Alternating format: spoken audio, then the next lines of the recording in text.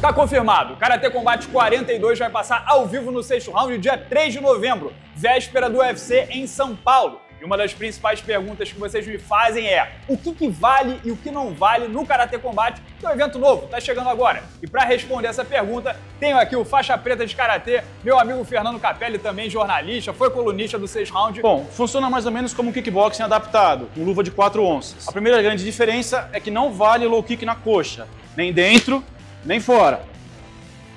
Parte de mão, vale todos os golpes de boxe, jab direto, cruzado, upper, hook, overhand. Vale também o soco giratório, que não vale no boxe. O Superman Punch.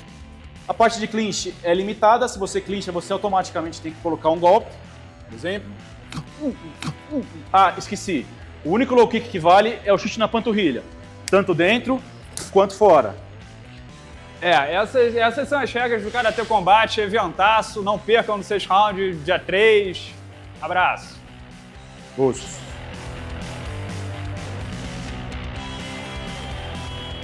A frase que mais tenho escutado nas redes sociais do sexto round nos últimos dias é o Brasil é Alexander Volkanovski no UFC 294 desse sábado. E faz todo sentido, porque o Islam Makhachev, adversário do australiano em Abu Dhabi, é o carrasco do Charles do Bronx, o nosso lutador mais popular. Além do mais, Islam tira sarro do brasileiro sempre que pode. Diz que é mentalmente frágil, desiste sempre que sente a pressão, etc, etc. Por fim, também gostamos de um caos, uma história de superação, que quebra o status quo e desafia as probabilidades. E o campeão dos penas, um cara menor que pega a luta com 10 dias de preparo e é zebra na proporção de mais de 3 para 1 lá na stake contra o campeão dos leves, é exatamente isso. Só que cuidado com o que você deseja, porque no papel a vitória do Volkanovski é sem qualquer resquício de dúvida muitíssimo pior para o Charles. Vamos lá. O Volk viraria duplo campeão e a sua primeira ação teria que ser voltar para defender o cinturão dos penas nos primeiros meses de 2024. Ou seja, a populosa divisão dos leves teria que esperar pelo menos até o meio do ano que vem para ter mais uma defesa de cinturão. E duvido que Dana White, aquele mesmo que deixou de seguir o Charles do Bronx nas redes sociais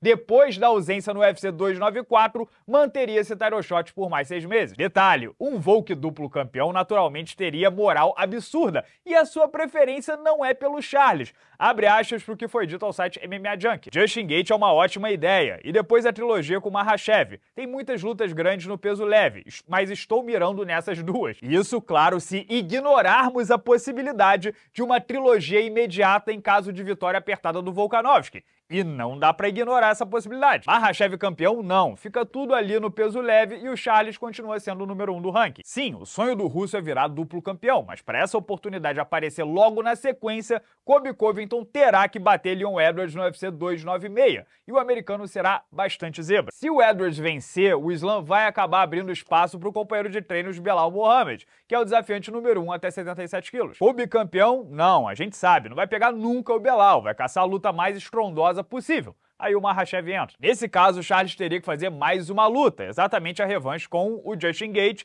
talvez valendo até aquele cinturão BMF. O meu ponto é que com Mahashev campeão, há um caminho expresso em que o Charles mantém o title shot e disputa o cinturão dos leves no início de 2024. Enquanto o Volkanovski campeão, esquece. É mais uma rodada, se tiver sorte, talvez duas rodadas com vitórias para o Charles. E a realidade é dura. Quanto mais tempo levar e mais vezes tiver que subir no octógono, menores as chances do Charles reaver o cinturão. É óbvio, ainda mais agora com 34 anos, começando a se afastar do auge físico. Vocês querem o Charles com mais ou menos chances de ser campeão? Mais. Então, simples. Torçam para Islam Makhachev e Leon Edwards nos UFCs 294 e 296. Não se importa? Aí torce pro Volkanovski ou para quem você quiser. Então, se por um lado muita gente trata como livramento não ter ido para Abu Dhabi, por outro, esse corte no supercílio no último, no último sparring pode atrasar bastante a vida do Charles. Talvez aquele velho ditado esteja certo: cavalo selado só passa uma vez. Sobre a luta de sábado em si, acho que veremos uma configuração diferente do primeiro encontro. Em primeiro lugar, a premissa de que o Volk não tá arriscando nada, tá indo como franco atirador sem qualquer pressão ou responsabilidade é falsa. Porque se ele perde de novo pro russo, adeus sonho de virar duplo campeão. Acabou. Seu legado vai ficar restrito a uma faixa de peso, porque ele não é tão popular assim para ter terceira chance com duas derrotas e já vai completar 36 anos em 2024. É agora ou nunca. Esse entendimento até anima o pessoal que bota fé nele, porque se tivesse muito fora de forma, não arriscaria a última oportunidade assim. E por que acho que veremos uma configuração diferente? Bom, para quem não lembra, na primeira luta o Islam venceu os rounds 1, 2 e 4, enquanto o Volk levou o terceiro e o quinto. A conclusão do australiano é que ele deu de bandeja os dois primeiros rounds porque respeitou demais a força do russo. Ele começou 100% com o freio de mão puxado, tímido, achando que pudesse haver uma grande diferença física. Aí, quando passou a apreensão e o nervosismo, ele se soltou, entrou na luta a partir do terceiro round já era tarde demais, não deu tempo de virar, apesar de ter feito um quinto round maravilhoso. Dessa vez, por não ter tido um camp completo e estar lutando no deserto, ele não pode se dar ao luxo de começar frio, porque a tendência é que seja o contrário, ele esteja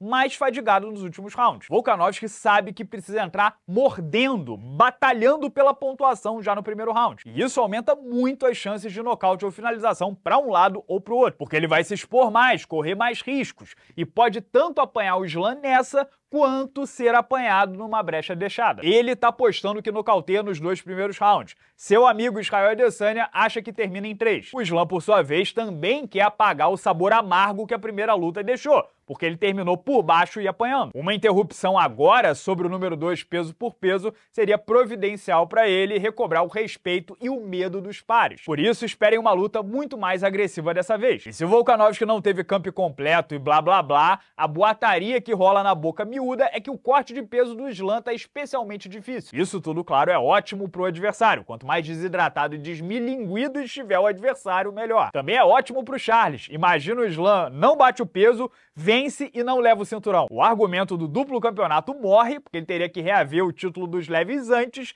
e o número 1 um do ranking tem nome. Mas claro, são apenas os meus dois centavos, o meu ponto de vista. Qual é o seu palpite final para Alexander Volkanovski versus Islam Makhachev 2? Deixe seu comentário aqui embaixo. Deixa o like para quem levou dezenas de chutes na panturrilha e na coxa gravando o vídeo do Karatê Combate que você viu antes. E não perde a resenha de ontem, que foi sobre Hansa Kimaev versus Kamaru Usman. Essa que talvez seja a luta mais aguardada dessa noite e por que eu acho que o, o Lobo tem um calcanhar de Aquiles. Clica no link aqui do lado e confere. E amanhã, sexta-feira, 7 horas da noite, tem live aqui, a live pré-evento vai ser sexta, 7 horas da noite, eu e o Lucas Carrano, porque o evento é sábado de manhã, não perde também.